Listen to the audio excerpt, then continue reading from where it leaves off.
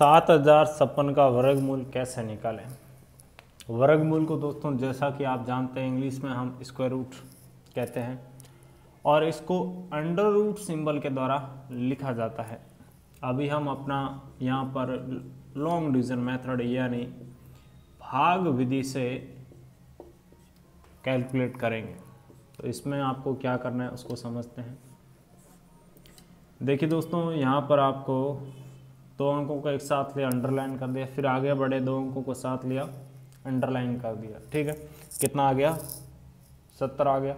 अब हम ऐसी कौन सी संख्या लें जिसका खुद के साथ गुणा करने पर सत्तर से बड़ा नहीं आना चाहिए? जैसे मैं आठ गुणा आठ ले रहा हूँ, कितना आ गया? चौंसठ।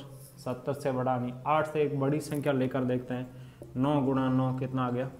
इक्यासी। देखिए, सत्तर से बड़ा है। इसलिए हमने नौ गुणा नौ को नहीं लिया। किसको लिया? आठ गुणा आठ को। ऐसे समझिए, जो संख्या लेंगे, उससे एक बड़ी संख्या लेते ही आपका बड़ा आ जाएगा। जैसे यहाँ इक्यासी आ गया, आठ से एक बड़ी संख्या लेते ही। ठीक है, समझ गए होंगे मेरी बात? जिस संख्या को लेंगे, एक बार यहाँ ऊपर लिख देंगे, उसके बाद इसको जोड़ना होता है, इसको घटाना होता है।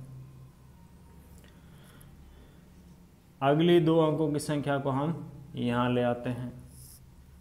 ठीक है क्लियर है। उसके बाद क्या करते हैं, जैसे इसके साथ मैंने चार लिया, चार का गुणा किया, चार सौ सोलह, एक क्रिया चला गया छः चौक चौबीस, एक पच्चीस, दो क्रिया आ गया, चार दो छः कितना? छः सौ छप्पन आ गया। किसको लिया हमने? अपना चार को लिया, फिर माइनस किया ज़ीरो आ गया।